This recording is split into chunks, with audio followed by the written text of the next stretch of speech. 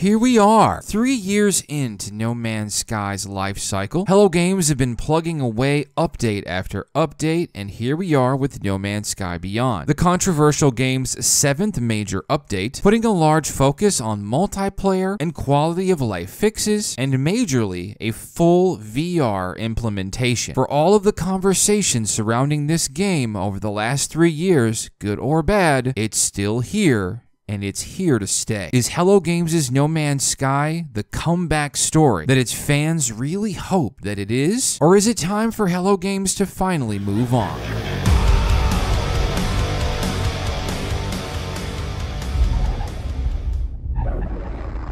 Ladies and gentlemen, welcome to the LZ and my three year review of No Man's Sky in 2019, not just particularly for Beyond, but as a package as a whole. And first things first, I want to talk about the pros of the state of No Man's Sky as Beyond brings it to. Obviously, we can't talk about the state of No Man's Sky in 2019 without talking about its excellent evolution from the launch. There have been seven major updates since its controversial launch, all of which bring a long library of fixes, quality of life improvements, and interesting features. But shockingly, only about a quarter of the content added through those updates were actually that of the controversial missing features that were advertised before launch. So, an overwhelming majority of those updates were new and things that weren't even hinted about, much less presented before the game launched three years ago. One of the major focuses of the Beyond update is the new anomaly and the nexus. These are absolutely perfect concepts for the game. Honestly, I cannot rave enough about this particular feature. It does so much to improve the No Man's Sky experience. It brings the current content structure of previous updates and beyond into a better, more cohesive focus. It provides a vehicle for much needed progression but mechanics and a central place in the game to help deliver those activities in a more organized manner. And the new anomaly is really a perfect middle ground for those who would like to participate in cooperative play versus those who would prefer a more solo experience. Obviously, if we had to compare the Nexus to any other game experience, obviously Destiny 2 is just a really good way of doing it. And this may come as a surprise to some of my viewers and fans of the game, but really, I think this is a great thing to copy from another game, right? A central hub to do all of these activities, right? Before you go out and explore the universe. I think that's really something. It's really important and it does a whole lot to bring the the focus of the game to a central point that doesn't really remove from the larger exploration experience. It doesn't take away from the game at all. Another big positive of the Beyond update is the phenomenal quality of life enhancements. The game got a decent inventory overhaul this time around, bringing a lot of common sense things. Things like being able to move tech around, things like upgrades and, and, and installed equipment is is just such a common sense and amazing addition. It's a little unfortunate that it took them this long to realize that this is something that the inventory system in the game needed. I'm also pretty sure that it's something that the community has asked for pretty widely. Better late than never, but still welcome. Menus definitely flow a little bit better this time. There's definitely some improvements that I would still make that uh, sort of make menu navigation cumbersome.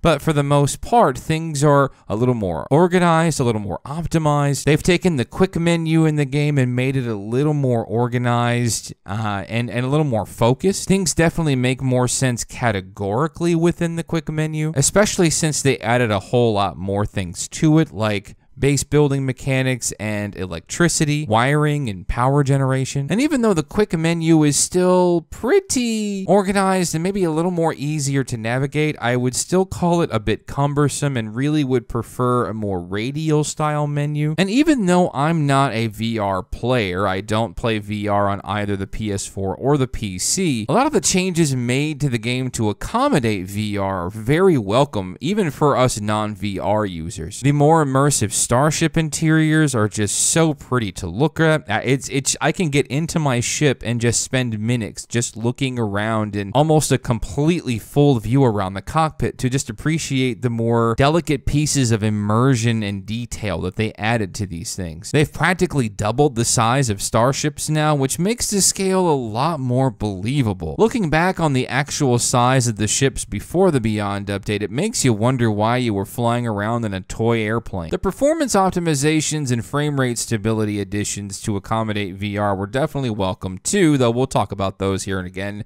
in a moment and not so positive of a light. But overall, not only is the performance a little better, they've taken the time, gone back and fixed something that they did with the Visions update, which was a reduced color palette and muted colors. Things are definitely a lot more a lot more pretty. The colors are back for the most part. The clouds are definitely cleaner, and the game in general is just a smoother experience. And importantly, with every gigantic update comes a new wave of new players, and another thing that they've done is made a more cohesive user experience, especially for new players just starting up or those who are starting new saves. The game definitely does a better job of helping you along in your first hours. It's definitely easier and, it, and the game does a better job of sort of walking you through what you need to do without you having to spend so much time connecting the dots for things that really should be obvious. Before Beyond, complaints from more casual players or those who don't particularly enjoy this genre as much, typically the complaint was around resource mining, collecting, and crafting. If you're playing on normal mode, these mechanics have been streamlined and relaxed a little bit to put a better focus on your general experience. But one thing I've always appreciated about No Man's Sky that maybe I just haven't thought enough about is that No Man's Sky is artistically first class in its design quality compared to other games that have tried to copy it. You can definitely tell that Hello Games have put time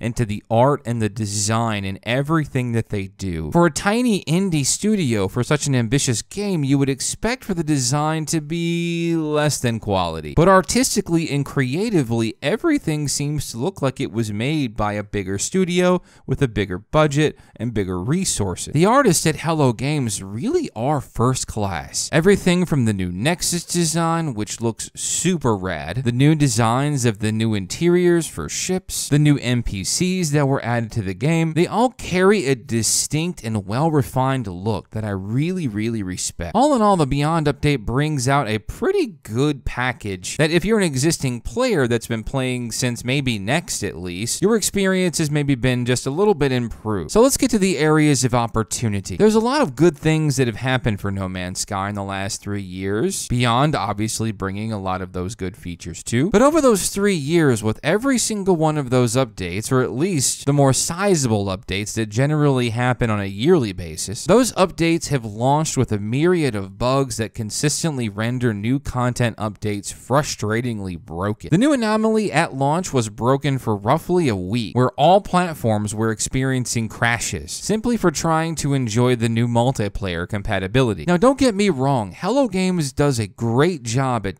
tackling these bugs and having them done well within a couple of weeks to up to a month. But the problem with these bugs is twofold. It really harms the experience of that new update, that fresh coat of paint, when you really have to enhance your patience for weeks after the update launches just to ensure that you can enjoy the content that came with it. Not only that, but in a lot of cases, new content updates almost guarantee that previously resolved bugs are re-broken with this new update. Issues with the game that were resolved about a year ago even are now broken again. Now, many of the major bugs have been fixed at the time of the recording, and there's a new mega update coming to PC and consoles literally any day now, which is good. I hope it resolves a lot of what the problem problems the game has already, which, you know, probably affects a limited amount of players, to be fair. Particularly right now, one of the larger bugs, one that's affecting myself as well, is that the optimization to the game has messed with the terrain generation, making it inconsistent and sometimes dangerous to your save file. The only time that I have died on my survival save and the hundreds of hours that I have for it was due to this very bug. I fell through the planet and to my demise. It's also made terrain generation really patchy, Grass doesn't want to show up for up to a couple of minutes. Landing your ship is a chore simply because the ship doesn't realize that there is terrain below you because it effectively hasn't loaded in yet. Normally, I wouldn't cry about bugs so much, but when they are a risk to your save file and that you have to go through the pains of backing your save files up, it's just a little bit of a chore, and the patience should only last but so long before we criticize how these bugs are tested before the launch of a new major content update such as this. Looking at the Nexus, I had a lot of praise for the Nexus in the pros section of the video. It has a lot of potential, sure, but the cooperative function in Nexus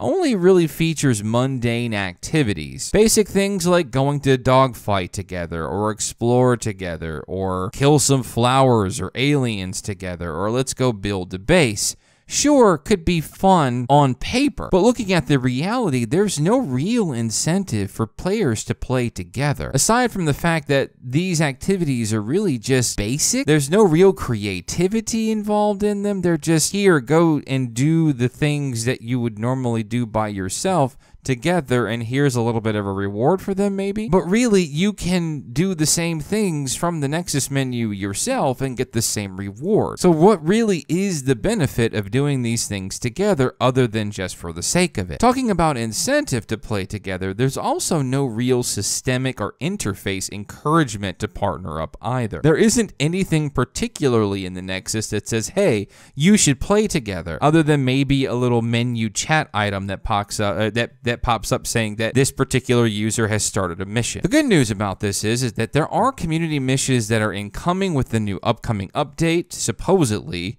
which could resolve this issue to maybe a degree. Here's hoping if we go, if we have the previous community missions to go by though, they weren't that good, so I'm hoping they're a little more creative this time. But the indications are that the community missions are only going to be for a limited time, which is unfortunate because No Man's Sky could use a more systemic and perpetual and continual community mission that's a little bit more hands off for Hello Games and more entertaining and perpetual in the game itself. And I don't want to come across as unfair to Hello Games for this criticism, but VR just isn't something that's for me. So if you remove the VR aspect, which really is the largest and most central aspect to this particular update beyond, looking at the Nexus and the suite of quality life fixes for the game, it suddenly becomes clear that there's very there's very little new content for such a large update. Most of the new additions for Beyond are just reorganizations of existing features and quality of life improvements, which is fine, but these things do very little to move the game beyond what Next was a year ago. I'd like to know just how many more quality of life improvements that No Man's Sky really needs before it's safe to say that we can simply just move on to taking more risks with the game itself. Which leads me to the biggest problem with No Man's Sky, and I've talked about this